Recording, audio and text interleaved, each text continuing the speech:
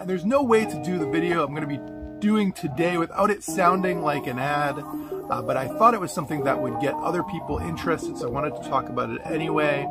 I know a lot of people, ever since childhood, love having cereal every single day. Uh, I definitely did quite a bit uh, as a kid. I haven't as much in recent years um, because of kind of the unhealthiness of uh, most cereals I'd actually want to eat. Uh, so I saw an ad for Magic Spoon and I checked it out. It's basically a brand of cereals where they're high protein. Uh, basically every bowl has 12 to 14 grams of protein and only 4 to 5 grams of net carbs. Uh, they're also gluten-free for people who uh, need to worry about that sort of thing.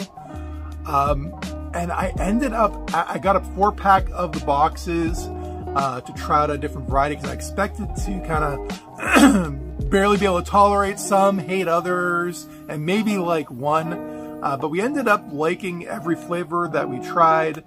There's 10 flavors currently available. For a limited time, you can try gingerbread and original. They also have fruity, peanut butter, cookies and cream, cocoa, frosted, cinnamon, blueberry, and maple waffle. Uh, and if you try this cereal, I honestly think you wouldn't even know if, unless someone told you that this is a healthier cereal than typical, uh, which is about as good of a compliment as I could give it.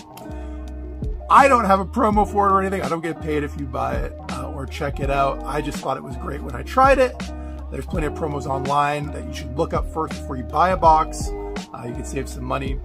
But either way, Magic Spoon, high protein, uh, you know, no sugar, uh, low carb option for your breakfasts if you like cereal. But regardless of whatever you eat for breakfast, make sure to find the yay every day. Bye.